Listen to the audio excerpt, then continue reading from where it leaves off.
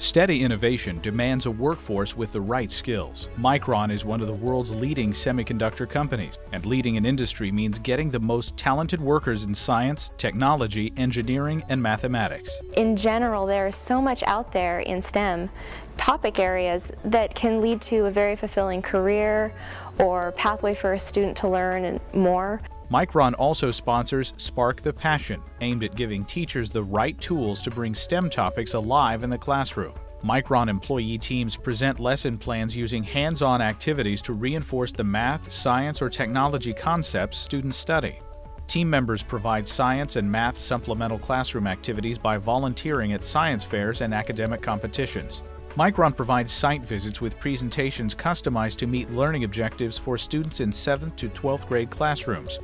Micron also hosts teacher workshops to acquaint educators with the connections between the classroom and the workplace. Micron's web resources include real-world demonstrations of the relevance of mathematics in a variety of careers.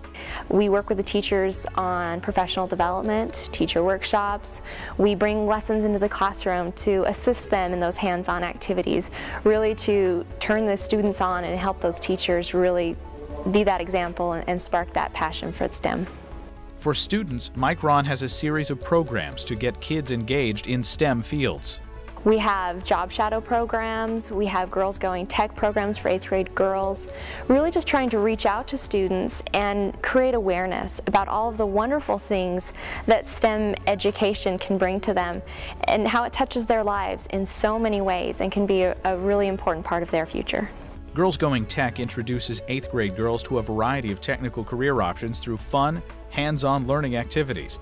Participants have the opportunity to follow up with mentors using social media channels. At the Micron Foundation, we focus on STEM education because really it's the future of our industry. And the semiconductor process is very advanced, very high tech, requires a lot of research and development, and really the talent pool for that is going to come from our students. And so by focusing on STEM education, we're able to inspire children to study those fields and to learn more about them so that we can hire that next generation engineer and scientist into our field.